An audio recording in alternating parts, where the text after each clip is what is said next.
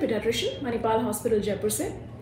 समय से पूर्व जन्मे बच्चों और उनके परिवारों के प्रति जागरूकता पैदा करने के लिए हर साल 17 नवंबर को हम विश्व प्री मेचोरिटी डे मनाते हैं। डब्ल्यूएचओ के अनुसार पैदा होने वाले हर दस में से एक बच्चा प्री मेचोर होता है।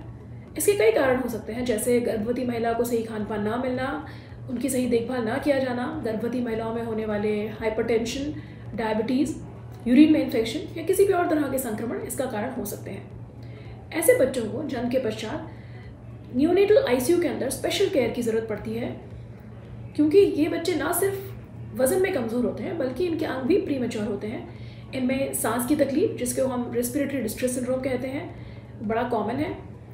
इसके अतिरिक्त इन बच्चों की आंतें कमज़ोर होती हैं, दूध नहीं बचा पाते हैं तो नातों का सड़ना, जिसे हम नेक्रोटाइजिक एंट्रोकोलाइटिस कहते हैं, ऐसी कई और समस्याएँ हैं जिनसे इन बच्चों को जूझना पड़ता है। यही नहीं एन से डिस्चार्ज के पश्चात भी घर पर इनका बहुत ध्यान रखना अत्यंत आवश्यक है। ऐसे में एक डॉक्टर होने के नाते मैं आपसे यही कहूँगी कि कम से कम ऐसे बच्चों को छः महीने तक, जन्म के छः महीने के पश्चात तक घर से बाहर ना निकालें पब्लिक प्लेसेस में ना लेकर जाएँ।